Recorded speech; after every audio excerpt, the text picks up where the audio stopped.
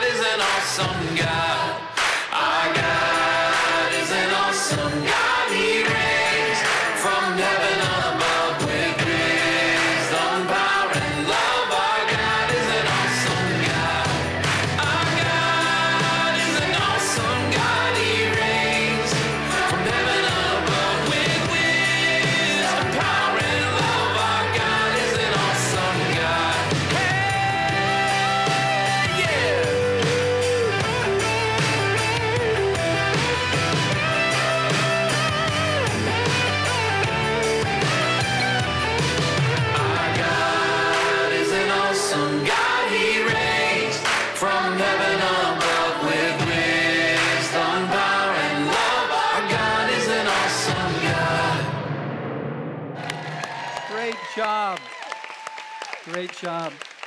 Boys and girls, you can go ahead and be dismissed to your classes right now. I'd like to ask our worship team to come up to the stage right now because we're going to begin um, a song that I think kind of summarizes what I've experienced during the week. The first song we're going to sing right now is called House of the Lord. And there's a line in the song that says, There is joy in the house of the Lord. And man, we have experienced that every single day of VBS. This room was filled with hundreds of kids and crew leaders and adult volunteers, and every day we got to sing and praise God together. Yes, yes. And so, right now, I want us to do this. Can we stand to our feet? And let me pray for us. And then we're going to sing House of the Lord. Would you pray with me this morning? Father, we're so thankful for this this opportunity we've had this week to share your monumental love with these kids.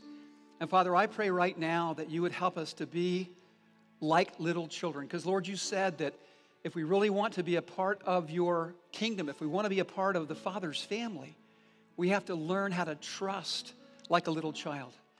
We have to learn how to rejoice like a little child. So help us do that now, God. Help us to trust you and to rejoice in your great love.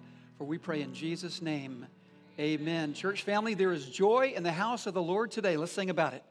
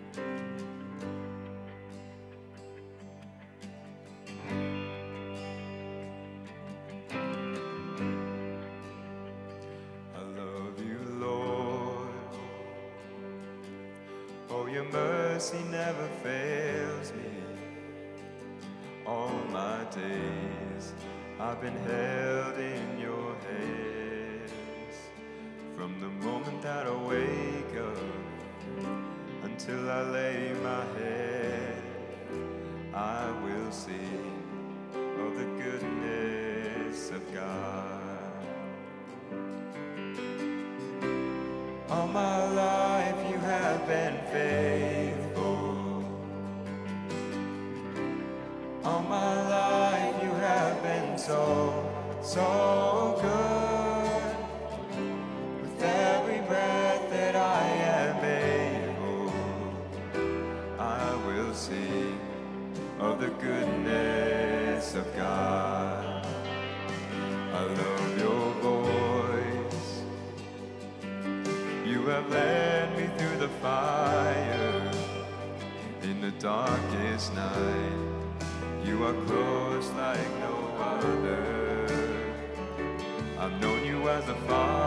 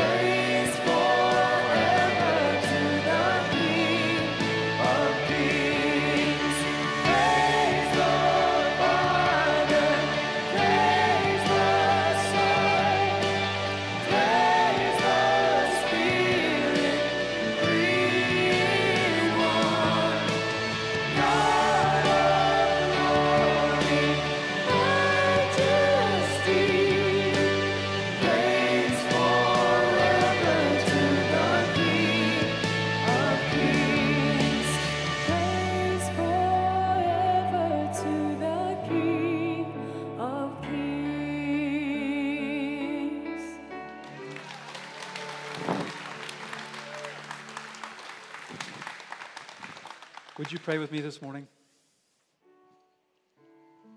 Father, it is so encouraging. Father, it is so amazing to meet in this place and to know that you are here with us. And we praise you, Father. We praise you, dear Son. We praise you, dear Spirit, for your incredible love to us. And I pray this morning, Father, that you would teach us by your truth. Lord, transform us so that we become more like your Son, Jesus, in whose name we pray now. Amen. Hey, please have a seat. Welcome once again to our worship service here at Boynton Beach Community Church. And can we do this? Can we thank our worship team this morning for leading us in worship? I'd also like to um, dismiss our middle and high school students to their class right now. And as they head out, um, let me just say that we really want all of you to be connected to our church family. And there are a, a number of good ways to do that. One is to download our, our app onto your phone. You can just go to the App Store, type in Boynton Beach Community Church, and you'll get information about Bible studies and events on the calendar, and you can watch um, our worship services. But a great way to stay connected. Um, also, there's good information inside your bulletin this morning. There's a next step card if you'd like to contact us to get information. But on the flip side, is an opportunity for you to ask us to pray for you. And, church family, this is so important. It's great to have people that are willing to pray for you and to pray with you. So, if you do have a prayer need today, if you'll head over to the cross right after the service, somebody from our care team will pray there with you. Hey, I wanted to let you know about a few things that are coming up. First of all, um, you may have noticed the big red bus is out front this morning. This is an opportunity for us to make a difference in our community by donating blood. And once again, this is really pretty amazing that one donation of blood can save up to three people's lives. So if you're able to give blood, please do that today. Also, wanted to let you know we're excited about the fall because we're going to resume our Awana clubs. Um, registration is open online. We're going to start mid September. And then with our youth ministry, we're going to meet again this Wednesday night. There's going to be food and fun. We're going to take a two week break and then have a kickoff in the month of August. And, church family, let me say this we are so thankful uh, for each one of you as you use your time, your talents, your financial resources to help us move the mission forward. And if you'd like to support our church financially, a number of ways you can do that. You can use the offering boxes that are here. You can give on your mobile device, online, mail or bring a check to the church office. And I wanted to share this with you. It's from Vacation Bible School this week. We had a missions project for our kids. Uh, it's called Operation Kid to Kid. And it's a way for kids to share the love of Jesus with other children. And so the project this year was to bring in dollars and to buy school supplies for kids who live in Native American villages. Sometimes they're called reservations. But did you know there's over 300 of those villages in North America? And so, through a partnership with World Vision and Group Publishing, every single dollar that was brought in was able to buy school supplies for one student for the entire year, which is just remarkable. Our kids, this is the, the total contributions this week, over $1,000 was given. And so that's just wonderful for these kids to reach out and share the love of Jesus with other kids. And we're so thankful for that. So let me do this before we dive into the message this morning. Would you pray with me? Father, we are thankful for your monumental love, and it has been a monumental week. Um, Father, we're thankful for all of the volunteers and the, um, the students that were here, the kids. We pray, Lord, that the truth that was planted in their hearts would bear fruit and, uh, and stay with them their entire lives. And God, we pray this morning that you would plant seeds of truth in our hearts as we open your word together. God, please, please meet us in this place and teach us and transform us. We pray in Jesus' name. Amen. I have a question for you this morning, and you can raise your hand in response to this question. Um, how many of you have any stress in your life? Okay, I'm worried about the people who didn't raise their hand. We all know this life can be stressful, and there are different ways that we respond to stress. Here are some, some comments about stress that I thought were, well, rather amusing. Here's the first I try to take it one day at a time, but sometimes several days attack me at once. Here's another.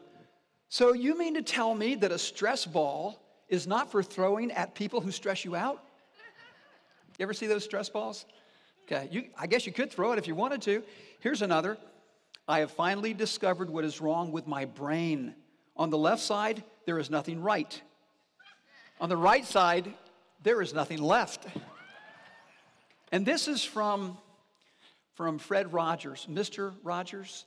And Mr. Rogers had this to say He said, In times of stress, the best thing we can do for each other is to listen with our ears and our hearts and to be assured that our questions are just as important as our answers. Now, today we're continuing a Bible study series that we began last week called Finding Hope in Hard Times.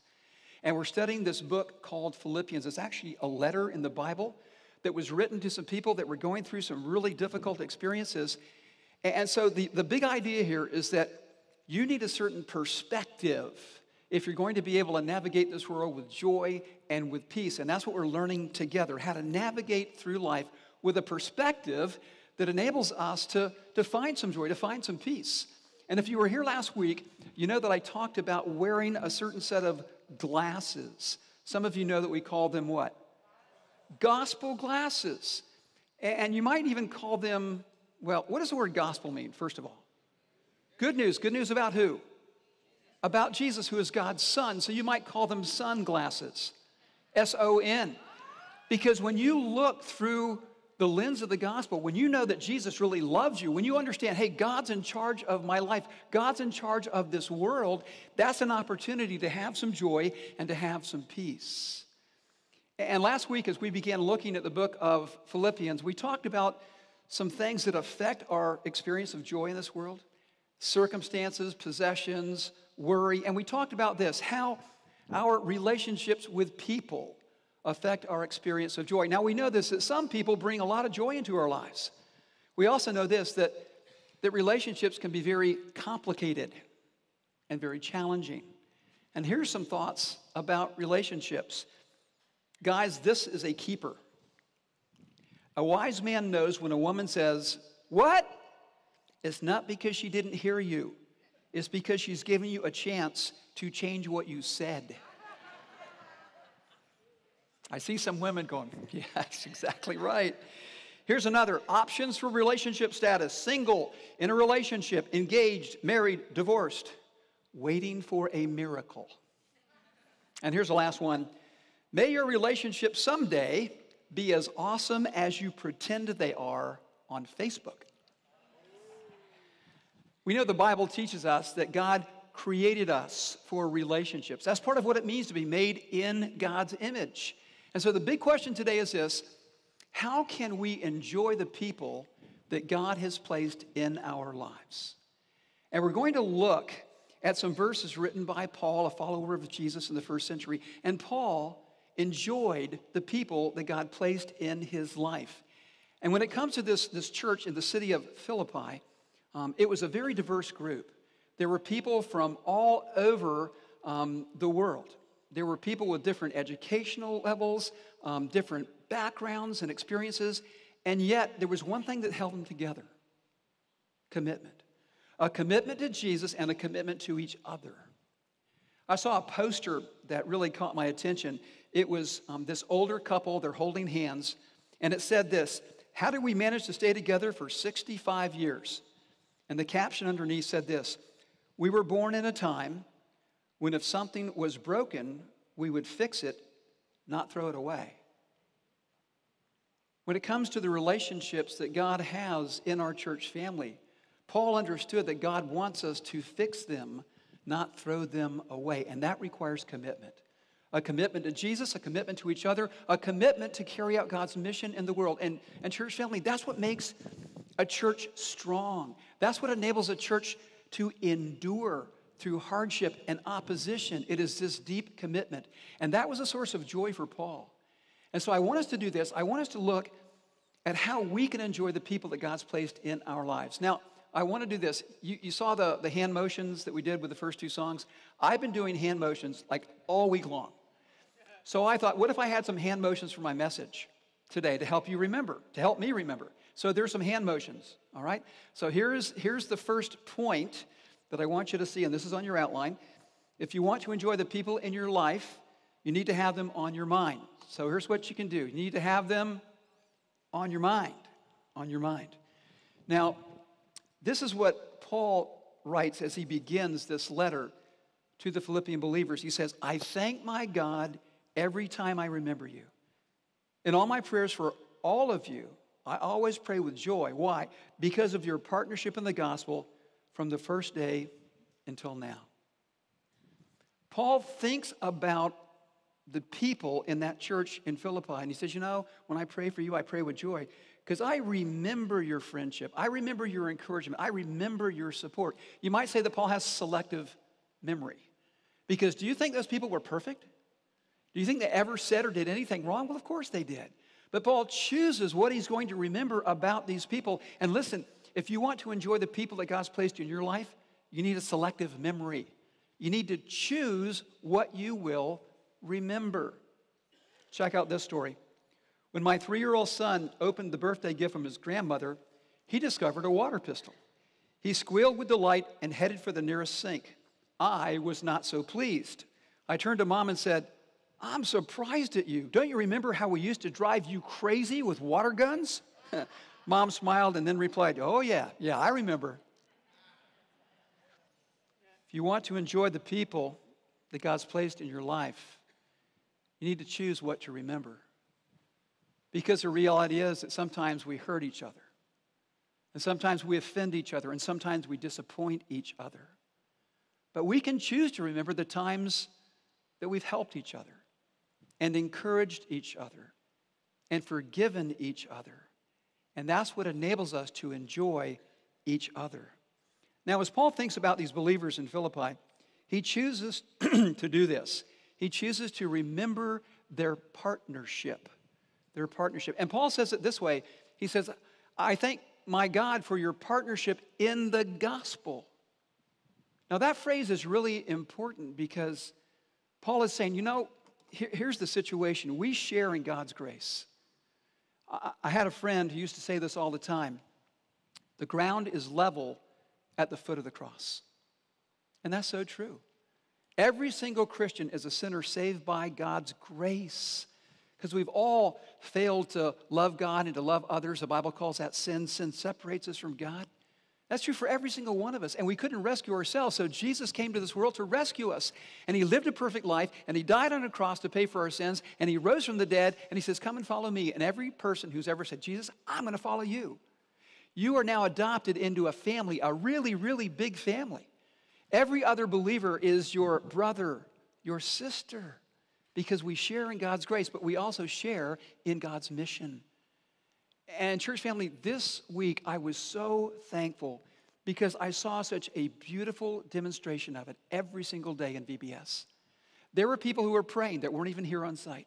We had our adult volunteers. We had a ton of teenage volunteers. And these are kids that grew up in our church going to VBS when they were just little.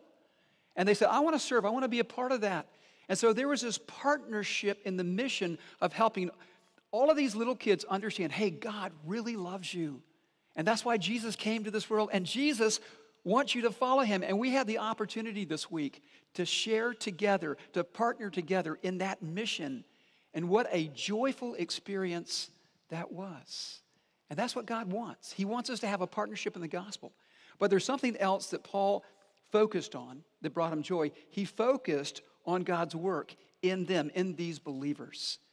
You know, he says, You know, I thank my God every time I remember you. I always pray with joy. And then he goes on and he says this being confident of this, that he who began a good work in you will carry it on to completion until the day of Christ Jesus, until the day that Jesus returns. Now, in this single verse, there is such a powerful principle about relationships. And it has to do with where you place your confidence. See, Paul's saying, you know, I, I know that, that you guys, you gals are going to change and grow and become the people that God made you to be. But Paul's confidence wasn't in the people. And Paul's confidence wasn't even in himself. I mean, he isn't even with them, he's in prison in Rome. His confidence is in God to get his work done in their hearts. And for us, that is so important. If we want to enjoy the people that God's placed into our lives, our confidence needs to be in God to change their hearts. And here's what I mean Church family, if you place your confidence in me, never to say or do anything wrong, to always be there for you, to meet every need that you have, sooner or later you will be disappointed. Why? Because I'm an imperfect person. I'm an imperfect father, an imperfect husband, and an imperfect pastor. And the flip side is this if put my confidence in you, if I think that every time I you know, share God's word with you that you're going to immediately change, that you'll never gossip or complain, well, I'm going to be disappointed. Why? Because, like me, you are what? You're imperfect. And listen, this is not being negative or pessimistic. This is what the scripture says about the human heart. We let each other down, don't we? We let ourselves down. Sometimes we really want to keep a promise and we break it, but there is one who always keeps his promises. And he's the one in whom we can have confidence. That's God. And so here's the thing Does that mean that we just kind of passively wait for God to, to change us? Well, no. It's a partnership, not just with each other, but with God. And Paul often says this you need to make every effort to live a life worthy of the gospel. You need to make every effort to trust God, to obey God, to serve God, to be somebody that others can count on. But here's the thing when we understand that our confidence to change people is in God, then we don't expect perfection. And it enables us to remember the times we got it right, the times we actually loved each other, and that brings joy to our hearts and joy to our relationships. And think about this idea that God works, He, he does things for us. You know, the Bible says that we can't save ourselves. So there's a work that God does for us in rescuing us. And then there's the work that God does in us Because when you decide to follow Jesus, the Bible says the Holy Spirit lives in you and God is working to change your heart. And then there is the work that God does through us as we serve and love others. And let me say this if you're a follower of Jesus and you look in the mirror and in a moment of honest reflection, you think, man, I, I understand this idea that God's supposed to be working in me, but honestly, I thought I would have been farther along by now. I thought I would have been more patient. I thought I would have been more kind, more forgiving, less critical of others. Sometimes we look in the mirror and we think about our faults and our failures and our flaws. Christian, this morning, I want you to hear the words of Scripture that really come from God's heart to yours. And I want to echo the words of Paul. Christian, I am confident of this very thing that he who began a good work in you and in me will carry it through to completion until the day that Jesus returns. So, the first thing I want you to know is if you're going to enjoy the people that God's placed in your life, you need to have them where? You, can you do this? On your mind? Okay, and you also need to have them in your heart. In your heart. And that's the next thing that I want you to see. You need to have them in your heart. And this is really important because, as one person pointed out, if you don't have people in your heart, it's very easy for them to get on your nerves. And here's what Paul says He says, It is right for me to feel this way about all of you since I have you, and here's the phrase, in my heart. And whether I am in chains or defending and confirming the gospel, all of you share in God's grace with me. I read a story this week about a young man who told his mother that he had fallen in love and he was going to get married. And he said, Mom, you know, just for fun, I'd like to do this. I'd like to bring three um, young women um, to my apartment and have you meet them and see if you can guess which one I'm going to marry. His wife says, I mean, his mom says, okay, okay. So his mom comes over, you know, they spend some time together, and uh, the three young ladies leave, and her son says, okay, mom, which one am I going to marry? And his mom says, it's really easy. He said, well, which one? Uh, she says, Well, the one that was in the middle when we were sitting on the couch. They said, Well, how did you know that? She said, Well, because she was the only one that I didn't like.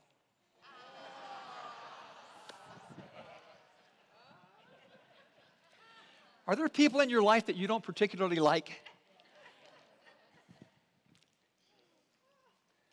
I was thinking this week about how Jesus summarized you know, the, the law of God. He says it's real simple love God with all your heart, your mind, your strength, and your soul, and love some of your neighbors as you love yourself.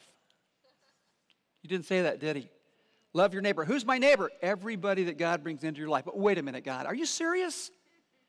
You're t- you, you want me to love everybody? There are people I don't even like. How can I possibly do that?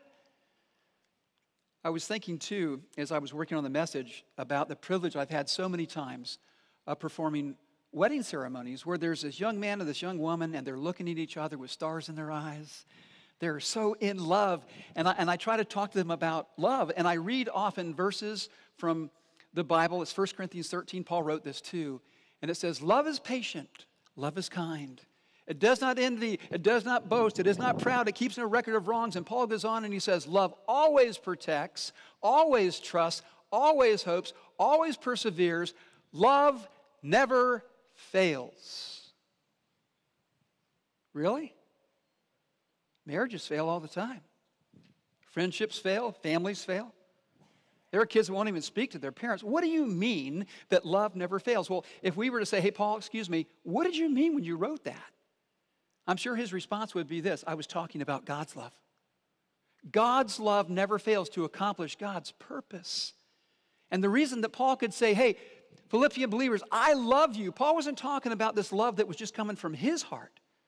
Paul was talking about this love that came from the heart of God through his heart to these other believers. And we know that because he says that in verse 8.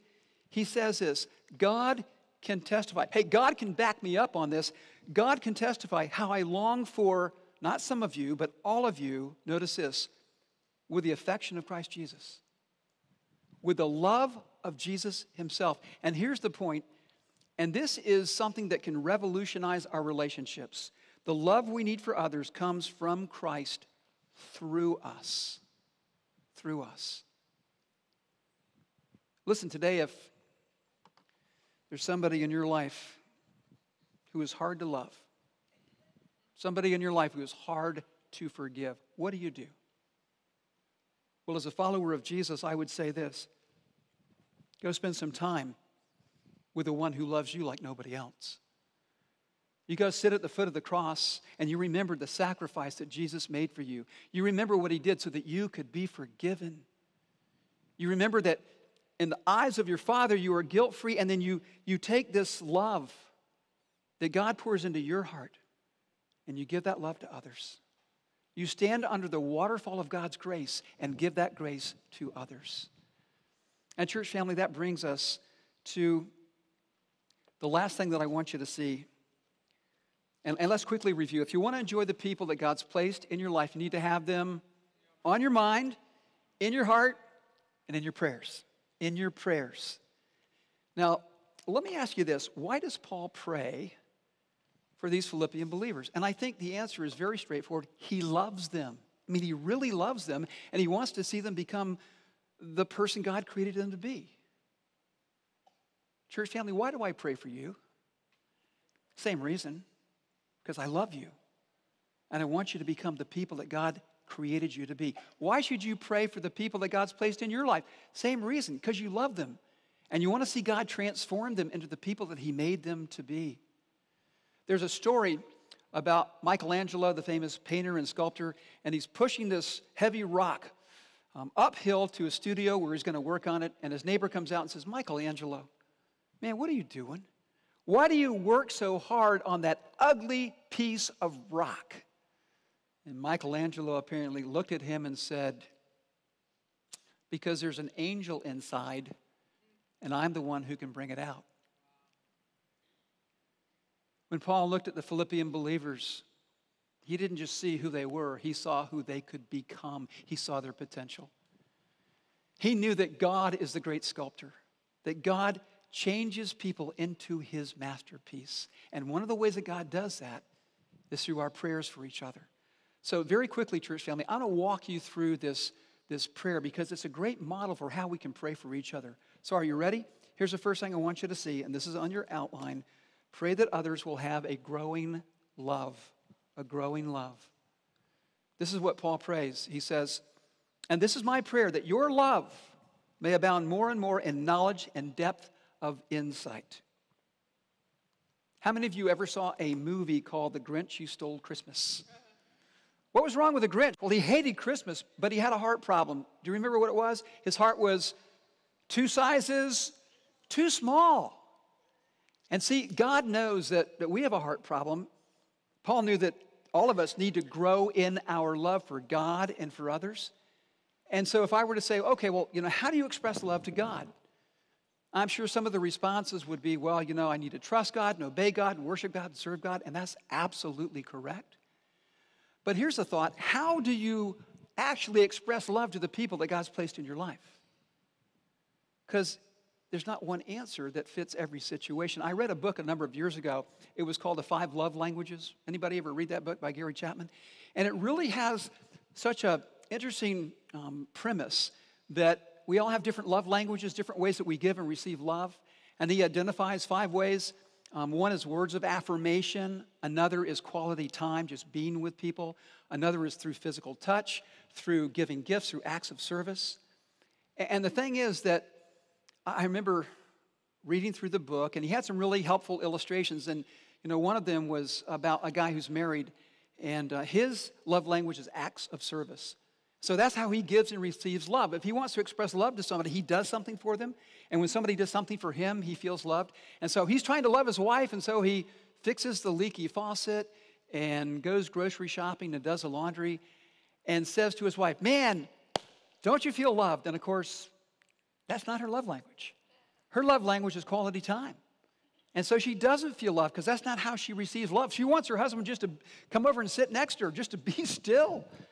And so it's almost like they just disconnect because one of them speaks Chinese and the other speaks Russian. They speak different love languages. And I remember reading that book and thinking, you know, that's kind of interesting, but is it biblical? And I thought to myself, well, you know, as I think through the different love languages, Jesus spoke every one fluently. Think about it. He had words of affirmation to people to encourage them not to give up. Jesus spent quality time with his disciples, three years. I mean, that's an amazing display of love that he had for his disciples. Uh, what about this physical touch? We know that so often when Jesus would do a miracle, he would just touch somebody and they would be healed. That was an expression of love. And, and I was thinking, you know, what would it be like to be walking down the road, you know, one of Jesus' disciples, and you're just having a really bad day, and Jesus walks up and puts his arm around you, says, Hey, hey, get your head up. It's going to be okay. I'm right here. I mean, that would have been so encouraging. What a display of love. And what about gift giving? Well, Jesus is the gift of God. The Bible says, For God so loved the world that he gave his one and only Son. And what about acts of service? Well, think about what Jesus did before he went to the cross. He washed the feet of his disciples and he said, I've given you an example of how to serve each other in love. And then Jesus laid down his life as the ultimate act of service. And so, uh, church family, here's what I want you to see. If you're married, this is so important. It's good to know your spouse's love language, how they receive love from you. If you're a parent, it's really good to know your child's love language, how they receive love, so that you can give them love in that language. But how do you learn that? You learn from Jesus. You go back to the stories of his life and learn from Jesus how to love. Now, here's the next thing that we can pray for each other's pray that others will be able to choose what is best. Choose what is best. And this is right here in Paul's prayer. He says, And this is my prayer, that your love may abound more and more in knowledge and depth of insight. Notice this, so that you may be able to discern what is best. What is best. If you're a parent, why are you concerned about the choices that your children make? Because choices have what? They have consequences. So good choices have good consequences, bad choices have bad consequences. Why is God concerned about the choices we make? Same reason, really, because our choices have consequences. But here's the thing that Paul is thinking about the best choices have the best consequences. And think about it your life, my life, our lives are shaped by the choices that we make. Your life today is largely the result of choices that you've made. And so Paul is praying for these believers that they would be able to know and to choose what is best. And every day you're making choices, so am I. What do I do with my time today? What am I going to do with the talents that God's given me? What am I going to do with the financial resources that God's entrusted to me? What is the best choice I can make with my time, with my talent, with, the finances that God's given me? And here's the thing if we're going to be able to do that, we need two things wisdom and courage. Wisdom helps us know what is best, courage helps us do what is best. And so, church family, you know, sometimes people say, Pastor Dudley, how can we pray for you? Pray for God to give me wisdom and courage. Help, help me to understand what is best. Help me to know that. That takes wisdom. But please pray that God will give me the courage to do it.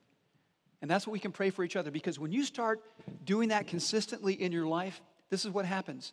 You start to grow in character. You start to become more like Jesus because Jesus always knows what is best and Jesus has the courage to do what is best. You become more like him. And that's the last thing that Paul really points out that we can pray for each other. Pray that others will develop godly character through a close connection with Christ. And that's what he says I pray so that you may be pure and blameless for the day of Christ, filled with the fruit of righteousness that comes through Jesus Christ to the glory and praise of God.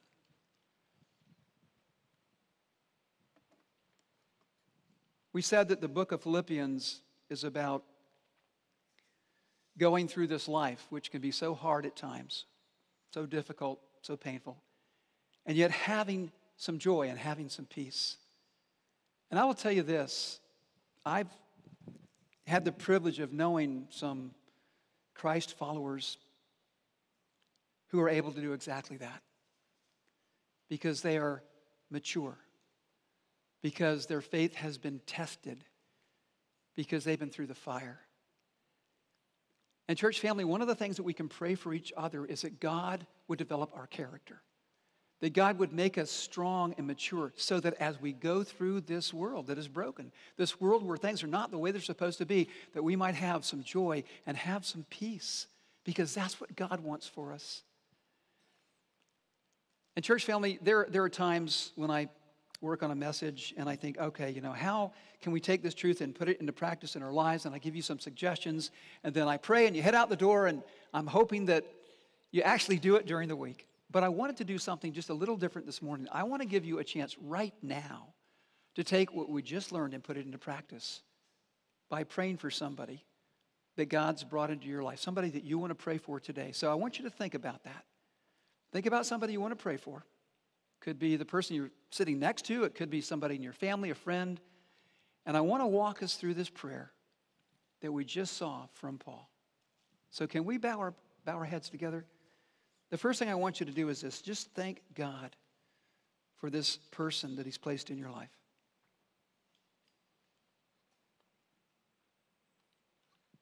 And now I want you to pray that this person will be able to grow in love for God and for other people.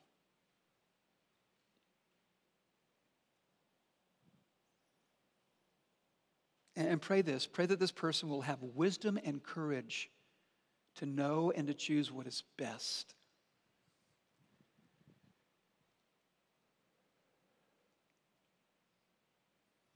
And finally, pray that this person will have a close connection with Jesus and grow in character.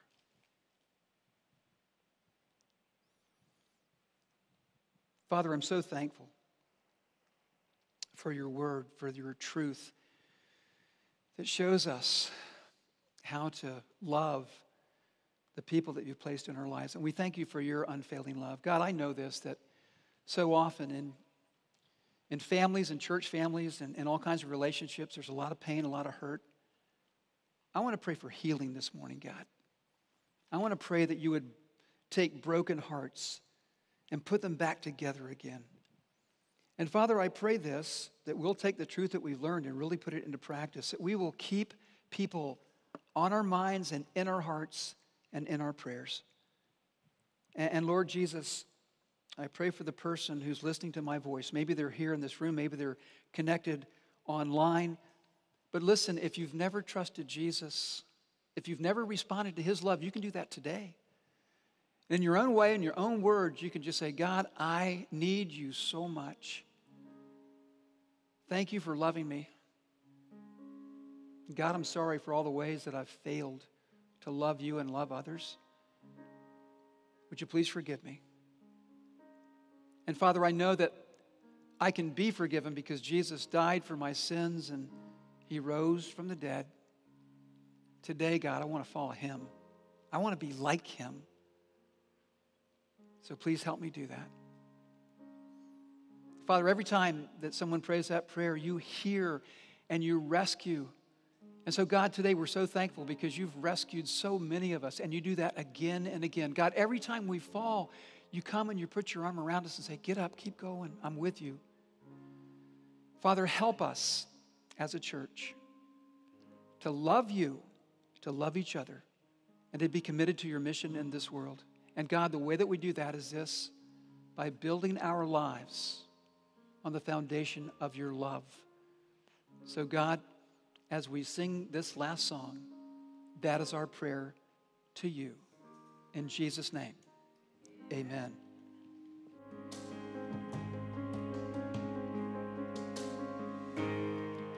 Worthy of every song we could ever sing. Worthy of all the praise we could ever bring. Worthy of every breath breathe. We live for you. Oh, we live for you. Jesus, the name above every other name. Jesus, the only one who could ever save. Worthy of every breath we could ever breathe. We live for you.